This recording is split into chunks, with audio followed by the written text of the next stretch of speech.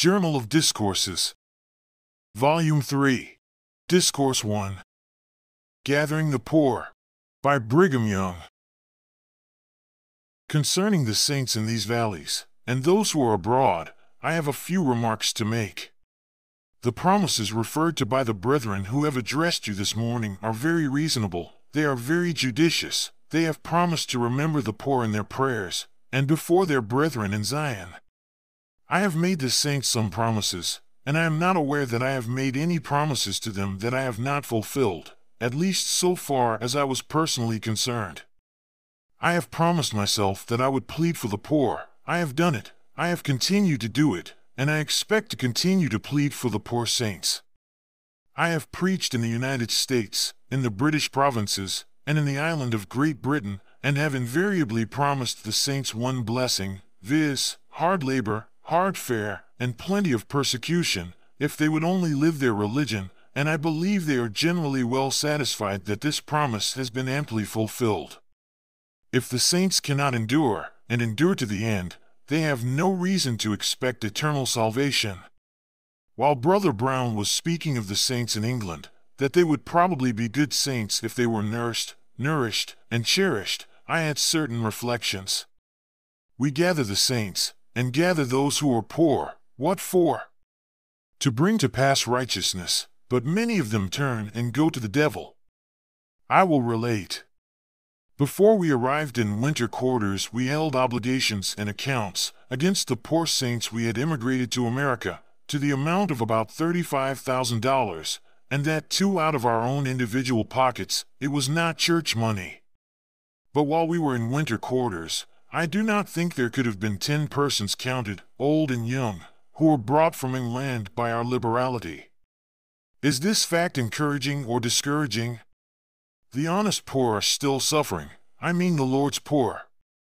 But you may take the devil's poor and the poor devils, and they will plead a thousand times harder to be brought out of England, to have their feet placed upon American soil, than the Lord's poor or the honest poor. The devil's poor and the poor devils will manage to get here, while very many of the Lord's poor stay there and suffer, and continue to suffer until they lay down their bodies and sleep in the tomb. Thousands and thousands of them will do this, while that portion who call so loudly for help are those who will come here and then go to the devil. If there could be any rule by which the honest poor in England could be designated from the dishonest, if the wealthy of that nation could draw the line between them, allow me to tell you that but few of the honest inhabitants of that country would suffer as they now do for one of the common necessaries of life. What is the cause of so much suffering there? Why the poor devils get license for begging, and beg from house to house, making a speculation of it. They beg money, bread, and clothing, and then speculate upon it, and thus abuse their friends and their gifts. There are thousands of houses in England kept by beggars, as fine houses as there are in that country, and their proprietors can ride in their coach and four, that there are such characters is well known among the people. Some of the large boarding houses in England are kept by them, and they hire men, women, and children to beg. They are licensed beggars. The women borrow their neighbors' children and carry them out to deceive the industrious and wealthy population, and thus they excite the sympathies of, and beg from, every passenger going into or coming out of a conveyance, and perhaps go to their homes twice or three times a day loaded down with money. This is well known by the wealthy, but they cannot draw the line of distinction between them and the honest poor, hence they are obliged to suffer the consequences. Were it not for this, the worthy poor would be fed and clothed in England. If the wealthy of that nation could know the truth, they would feed the hungry and clothe the naked, honest, just, and virtuous portions of the community. But they do not know them, and if they give a loaf of bread or a sixpence, they expect it is given to a poor devil, this makes them very careful how they give. Has not a similar dishonesty the same effect upon us? It has, and that is what I wish to talk about. For example, a man in England, professing to be a Latter day Saint, will go to his brother in the church and promise, in the most sacred manner, and call God and angels to witness, and hope he may die, and not live to get to America, if he is not as prompt to his word as an angel, to pay him back at such a time, if he will lend him ten sovereigns to help him away to America, another will get five sovereigns in the same way. Another will beg to be allowed to take so much out of a contribution box, promising to refund it, and saying, When I get to the saints, where there is liberty, and get work and good wages, I will remember you, my brethren, and send for you, and when they get here they forget it all. This is the way with the devil's poor. The Lord's poor do not forget their covenants, while the devil's poor pay no regard to their promises. Are you afraid the devil's poor will apostatize? I am not afraid of it, though sooner or later they will. They may hang on to the church for five, ten, or twenty years, but by and by, when they cannot endure what the Lord will bring upon them, they will falter and fall, and go by the board. Now this is discouraging to every man who has been punctual to his word and done just as he said he would. You will find men in England who have saved, out of their hard earnings, at ten shillings per week, five pounds, or ten pounds, handing it out as freely to their brethren as water to drink, saying, Go to America now, and you will help me out. But these men forget their words, and when they have means they tie up their purse strings, before they will bestow their charity upon those who have assisted them. Do I receive promises? Yes, men will promise me, saying, If you will let me go out this year by the means of the P. E. Fund, I will refund the means again, that you may have it to send back for more.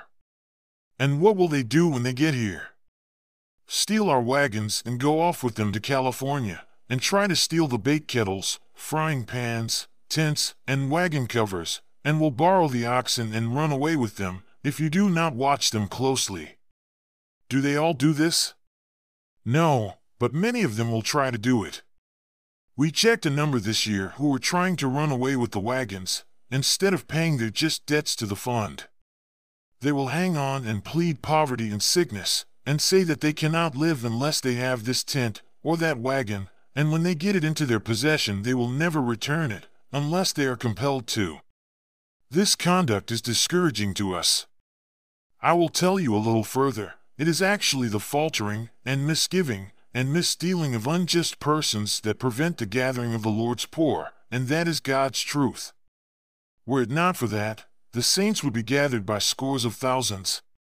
It is the wicked, the half hearted, and what I call hickory Mormons that prevent a more extensive gathering of the saints. We have done pretty well this season, and quite a number are coming out and I will tell you how this is operating upon me and the people. It is well known that we annually handle a large amount of means, and that we turn it over and shift it about until it will answer the end for which it was designed. Now I can ask the world this one question Were we ever in your debt and refused to pay you? And they will all answer, No. We can turn to the saints in England, France, America, or anywhere upon the face of the whole earth, and ask them, have you lent us money, or means of any kind, and we were not on hand to pay you? And they will answer, No. When Brother Erastus Snow arrived, on the first of this month, he came in the morning and informed me that he had run me in debt nearly $50,000. He said, President Young's name is as good as the bank. My name has been used without my consent, or without my knowing anything about it, and our agents have run us in debt almost $50,000 to strangers, merchants, cattle dealers, and our brethren who are coming here. I will tell you a little about the brethren, to show you the amount of confidence there is.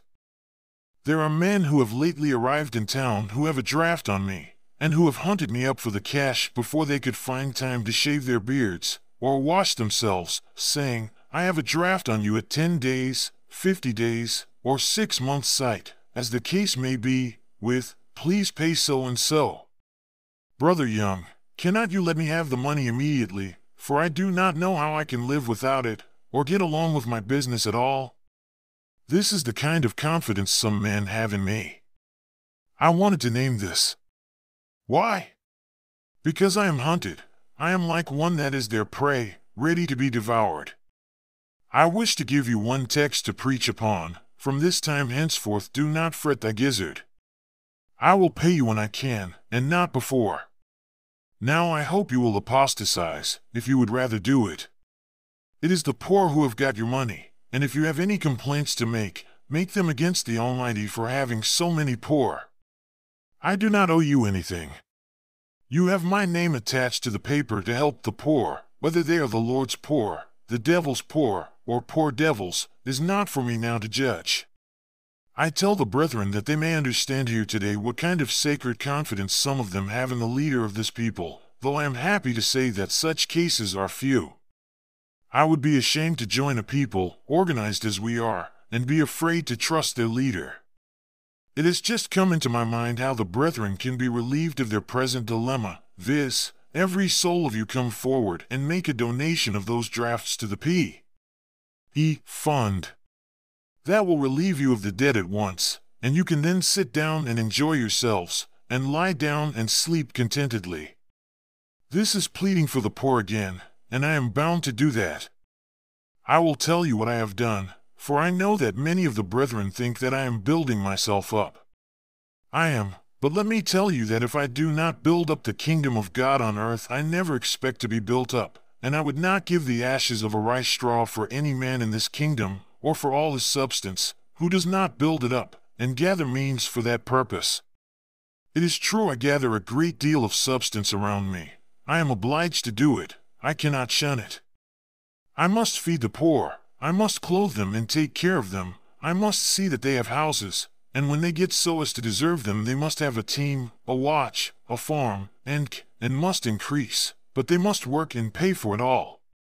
You know I preached you a short charity sermon last Sunday.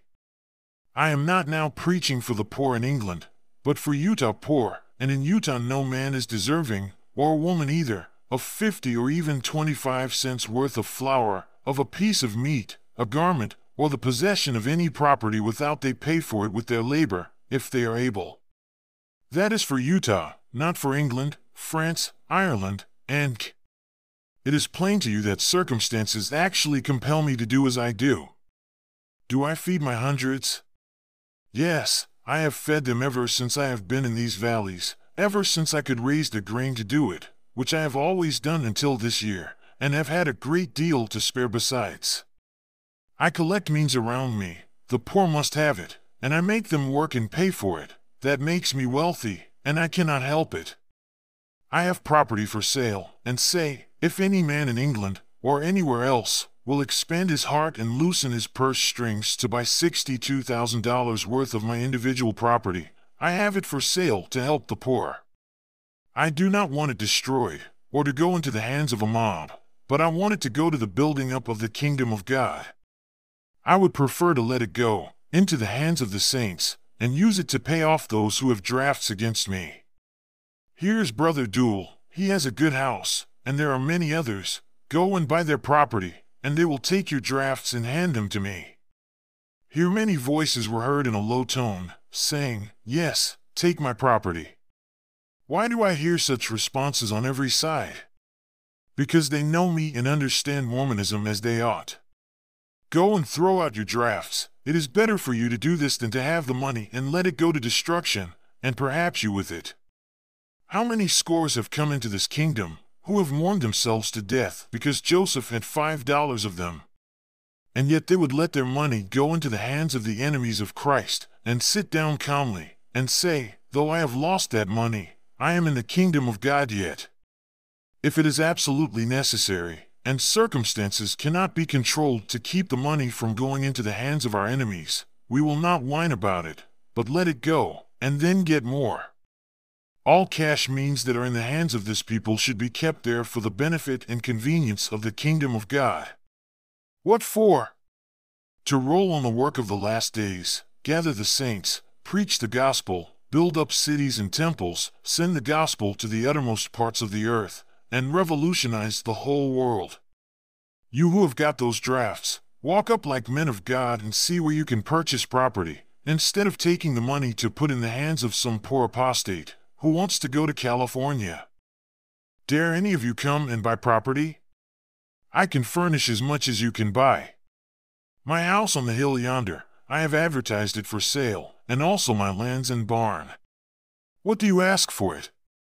$16,000. It is worth that and a great deal more, for it actually cost more. Can any of you buy it? Walk up and buy my beautiful situation on the hill, and I will put the proceeds into the perpetual emigrating fund, if you will pay me the money, and gather the saints, the Lord's poor, and the devil's poor, and the poor devils, and when we have got them here we will make saints of them, if we can, and if we cannot, we will cast them out of the kingdom. If the brethren all felt as some do, the perpetual fund means would increase rapidly. But what do they do? It was reported to you here last conference that there were then $56,000 owing to the P. E. Fund by brethren in this territory. Some of the debtors have run away, but the most of them are here. Can these men pay anything? No, they are poor and distressed. They say, if we let our oxen go, how can we live?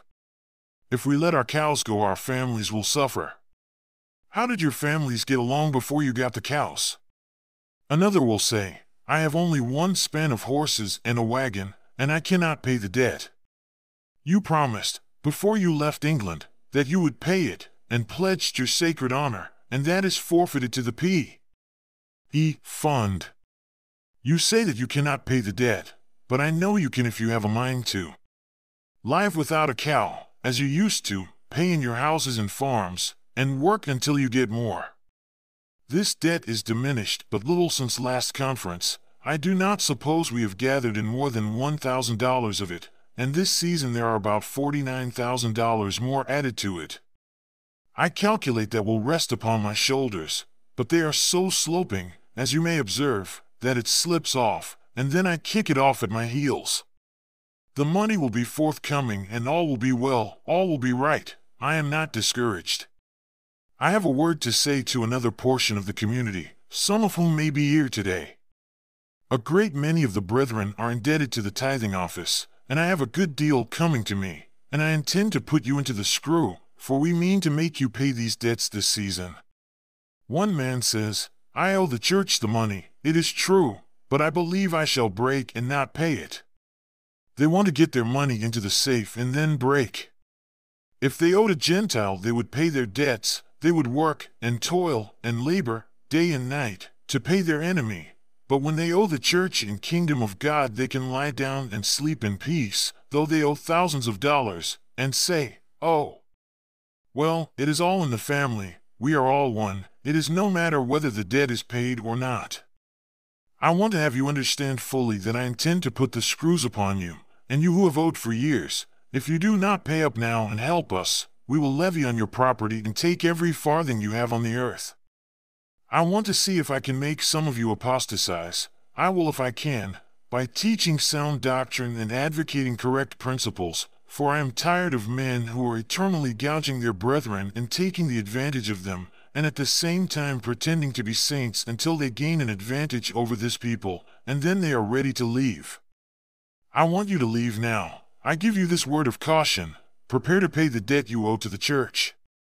If I had the money due to the church by a few individuals, I could pay every one of our individual debts and the church debt, and have a few scores of thousands lying by me to operate upon, and in such circumstances I could operate to some advantage, and greatly benefit the church. But it seems that there are many drones in the hive, who are determined to tie up the hands of those who rule the affairs of this kingdom, and the quicker they are thrown out the better. I have given you some reasons why things are so slow and tardy in their progress with regard to the gathering of the saints. Let the poor saints strive to induce the rich to have confidence in them, by keeping their word and punctually paying those who loan them money. I am sorry to say that this is not always the case. The poor are filled with idolatry as well as the rich, and covet the means of those who have helped them. The rich, also, have the same spirit of idolatry, and stick to what they have. Let the poor be honest, let the rich be liberal, and lay their plans to assist the poor, to build up the kingdom of God, and at the same time enrich themselves, for that is the way to build up God's kingdom. May the Lord bless you. Amen. Brigham Young